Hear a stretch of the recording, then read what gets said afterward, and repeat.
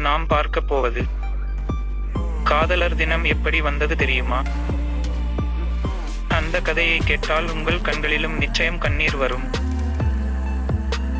இந்த பதிவை தெரிந்து கொள்ள நமது சேனலை சப்ஸ்கிரைப் செய்து கொள்ளுங்கள். வீடியோவை முழுவதும் பார்த்துவிட்டு லைக் கமெண்ட் ஷேர் செய்யுங்கள். வாருங்கள் பதிவுக்குள் போகலாம்.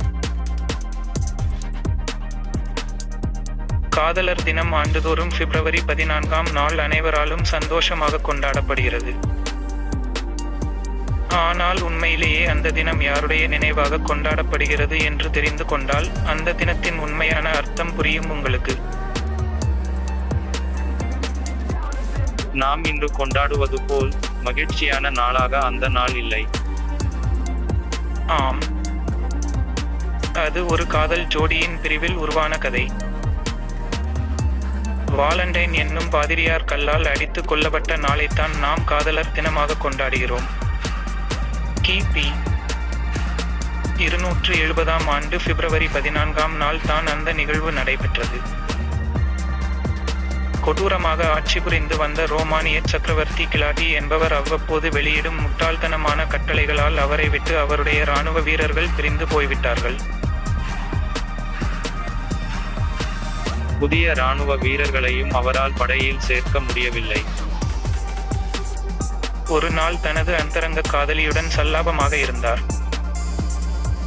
அப்போது ஏற்பட்ட சின்ன சண்டையால் எரிச்சலடைந்த கிளாடியின் மனதில் ஒரு முட்டாள்தனமான எண்ணம் உதித்தது.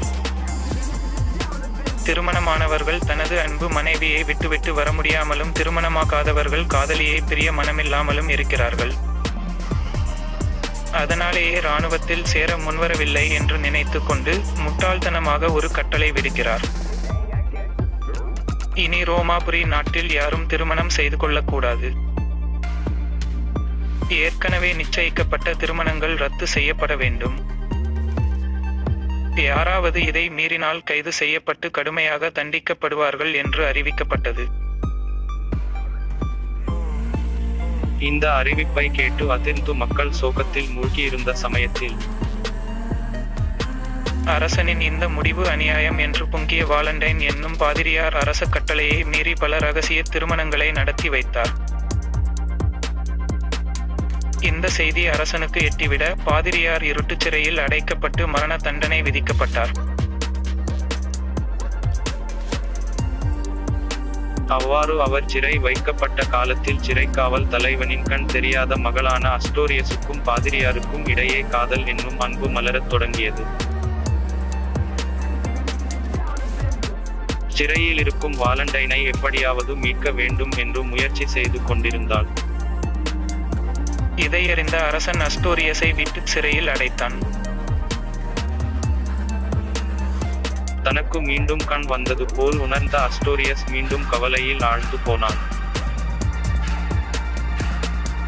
இதற்கிடையில் வாலண்டைனுக்கு மரண தண்டனை உறுதி செய்யப்பட்டது. அப்போது தன்னுடைய காதலி அஸ்டோரியஸுக்காக ஒரு காகித அட்டையை வரைந்து அதில் கவிதை ஒன்றை எழுதி அனுப்பிவிட்டு மரண தண்டனையை ஏற்றார் வாலண்டைன்